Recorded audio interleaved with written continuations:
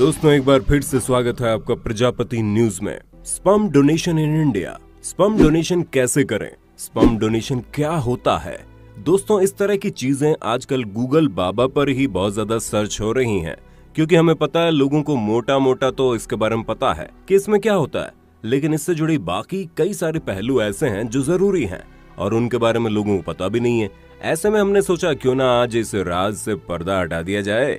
और अपने दर्शकों को ये बताया जाए कि आखिर स्पम डोनेशन किस खेत की मूली है और इसमें किन किन चीज़ों की ज़रूरत पड़ती है, इसे कौन कौन कर सकता है और इससे क्या फ़ायदा होता है, इसका क्या नुकसान है? आपको बता दें, चाइना का एक लड़का स्पम डोनेट करके आईफोन ले आया था।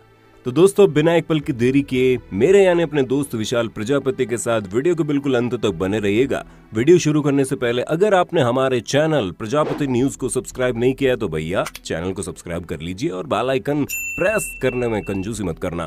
दोस्तों, सबसे पहले हम आपको बता दें कि विदेशों में किसी भी तरह से कोई चोरी चुपके वाला काम नहीं है, क्योंकि जिस तरह वहाँ पर लिविंग रिलेशनशिप में रहना या फिर कॉलेज टाइम में ही बच्चों का काम करना नॉर्मल है।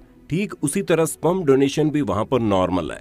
वैसे अगर नॉर्मल की बात की जाए तो ये हमारे भारत में भी काफ़ी नॉर्मल है, क्योंकि सरकार ने इसको लीगल करार दिया है।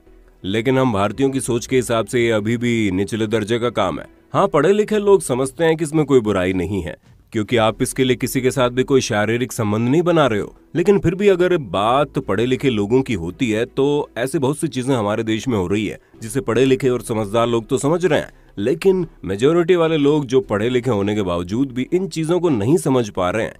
खैर, इन सब विषयों पर तो हम कभी और बात करेंगे, लेकिन आज हम स्पम डोनेशन से जुड़े आपके सभी सवालों के जवाब देंगे। दोस्तों, सबसे पहले लोगों के दिमाग में यही सवाल आता है कि आखिर स्पम डोनेशन कौन कौन लोग कर सकते हैं? तो इसका सीधा सा जवाब यही है कि कोई भी पुरुष स्पम डोनेशन कर सकता है। बस बात सिर्फ़ इतनी है कि इसे करने के लिए स्पम डोनेशन सेंटर में पुरुषों की उम्र 20 से 30 से 35 साल के बीच होनी चाहिए, क्योंकि इस उम्र में स्पम काफ़ी बढ़िया होते हैं और इंसान शारीरिक तौर पर स्वस्थ होता है। लेकिन यहाँ बात यह आती है कि स्पम डोनेशन करने वाले इंसान को किसी भी प्रकार की कोई बीमारी नहीं होनी चाहिए।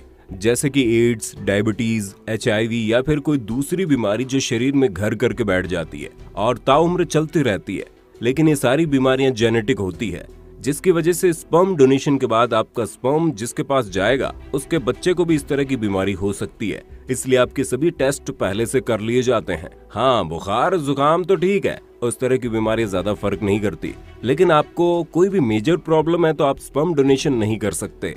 वैसे दोस्तों, बात केवल बीमारी पर ही खत्म नहीं होती, इसके अलावा भी आपसे कई सारे सवाल पूछे जाते हैं, क्योंकि ये पूरा खेल ही डिमांड पर है। यानी कि अगर आपका फैमिली बैकग्राउंड अच्छा है, आपके घर में लोगों की अच्छी इनकम होती है, लोगों का बात करने का तरीका और उठने बैठने का तरीका सब सही है तो ये चीज़ भी काफ़ी मायने रखती है। इसके साथ ही आपकी फैमिली में किसको किस तरह की बीमारी है, ये भी देखा जाता है।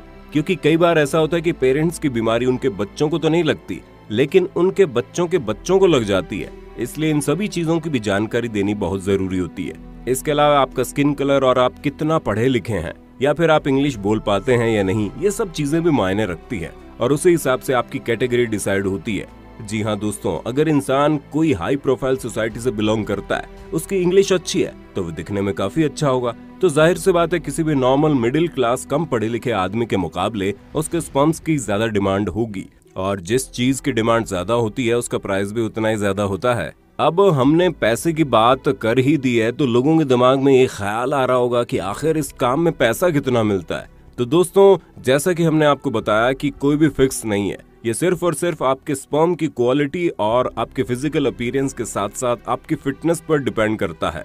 अगर आप हर तरह से बेस्ट है तो ज़ाहिर सी बात है आपको अच्छा खासा पैसा मिलेगा। वैसे अगर नॉर्मली ले लिया जाए तो आज के समय में एक मिडिल लेवल के स्पर्म को डोनेट करने पर आपको तीन से पाँच हज़ार मिल सकते हैं। और अगर आप एकदम ए वन क्वालिटी के डोनर निकले, तब तो आपको एक बार में दस हज़ार भी मिल सकते हैं। अब बात आती है इस प्रोसेस को करते कैसे तो दोस्तों, आपको स्पर्म डोनेशन सेंटर जाना होगा। वहाँ पर अपनी सारी डिटेल्स देनी होगी। जैसा कि हमने आपको ऊपर बताया, वो सभी चीज़ें आपसे पूछी जाएँगी। ये सब पूछने के बाद आपको एक छोटा सा डिब्बा पकड़ा दिया जाएगा, जिसमें आपका नाम लिखा होगा और फिर एक रूम में भेज दिया जाएगा। वहाँ पर आपको कई सारी ऐसी चीज़ें देखने को मिलेंगी, जो आपके शरीर में उत्तेजना पैदा कर देंगी।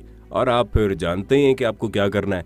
ऐसे में जब आप मास्टरबेशन कर लें उससे निकलने वाले स्पर्म को दिए गए छोटे से डब्बे में डाल देना है और फिर उसे काउंटर पर दे देना है, जिसके बदले में आपको पैसे मिलेंगे, जिससे आप तो खुश हो ही जाएँगे। लेकिन आप खुद ही सोचिए, आपकी इस मदद से जिन शादीशुदा जोड़ों के घर में बच्चों की किलकारी नहीं गूंज रही है, उन्हें अपनी ज़िंदगी रोशन करने का एक नया अवसर मिलेगा। अब इतना कुछ जानने के बाद कई सारे लोग ये सोच सकते हैं कि चीज़ गलत है। तो दोस्तों, अगर ये चीज़ गलत है तो मास्टरबेशन करना भी गलत हुआ तो आप वो क्यों करते हैं? क्योंकि उससे आपको तो कुछ मिलता नहीं है, ऊपर से ना ही किसी और का भला होता है। लेकिन अगर आप स्पर्म डोनेट करते हैं तो इससे आपको वो पैसे मिलते ही है। लेकिन किसी दूसरे का भी भला होता है। बाकी ज़रूरी नहीं है कि आप जाएँ और ऐसा करें, ये आपकी अपनी चॉइस है। और हम सिर्फ़ इतना कह रहे हैं कि इस चॉइस की इज़्ज़त आपको भी करनी चाहिए। बाकी आपका इस पर क्या कहना है, हमें कमेंट करके ज़रूर बताना और हम सुनना चाहेंगे। इसी तरह के इंटरेस्टिंग वीडियोस को लगातार देखते रहने के लिए हमारे चैनल प्रजापति न्यूज़ को सब्सक्राइब करने में बिल्कुल भी कंजूसी मत करना और लाइक भी ज़रूर करना, क्योंकि आपका एक लाइक नई नई वीडियो बनाने में हमें मोटिवेट करता है। और हाँ हम फिर मिलेंगे नई वीडियो के साथ। तब तक के लिए जय हिंद, जय भारत।